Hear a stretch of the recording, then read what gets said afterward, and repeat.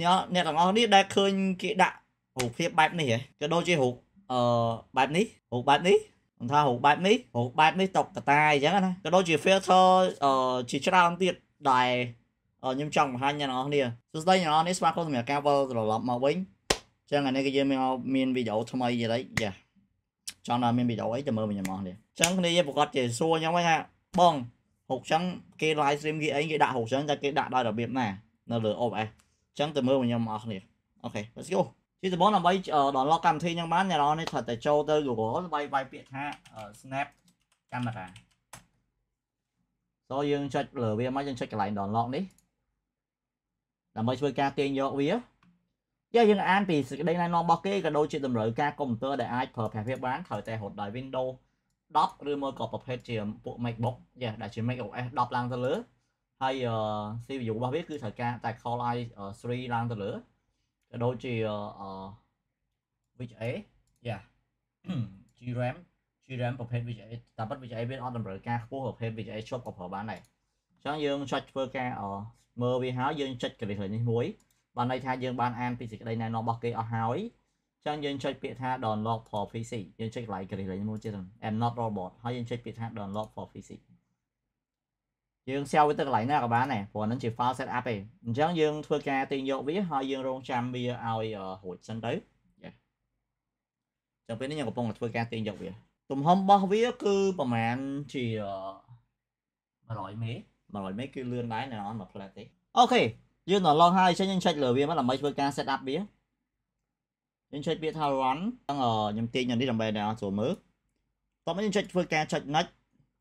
កន្លែងនេះគ្រីសបានតែយើងចង់ឲ្យវាមាន shortcut នៅលើ desktop អត់អញ្ចឹងបើយើងចង់យើងគ្រីសទៅបើអត់ចង់ទេដោះទៅខ្ញុំមកចង់ឲ្យ desktop ខ្ញុំញ៉ៃញ៉ៃចឹងខ្ញុំដោះវាចុចពាក្យ next ចុចពាក្យថា install វានឹងធ្វើការ install ចូលទៅកាន់ folder អឺអឺ program drive C របស់យើងឬជាជាដែលជា drive របស់ Windows របស់យើងចឹងយើងរងចាំឲ្យវា download ឲ្យ install ឲ្យហើយមកសុំទោសអូតាមពិតទៅខ្ញុំ install វាហើយស្រាប់ខ្ញុំ install វាជាន់ពីលើមកតង់ទៀតព្រោះប្រាប់មកពី របៀបនៅក្នុងការ install វាចឹងអឺយើងរងចាំវាសិនធម្មតាវា install វារៀងពេលខ្លះវារៀង stuck មួយផ្លែតអូខេហើយពេលហើយយើងអាចឡាញ់វាបានចឹងខ្ញុំឡាញ់វាមកអឺនេះអ្នកអត់ឃើញទេខ្ញុំកន្លែងមើលទៅដោយសារ screen ខ្ញុំមិននោះចឹងដើម្បីកំណត់កាមេរ៉ារបស់វាណាមើលនៅខាងស្ដាំដៃរបស់យើងតាមប៉ុណ្ណឹងវា limit បានសម្រាប់30 frame ទេយើងចុចមើលកន្លែងអឺ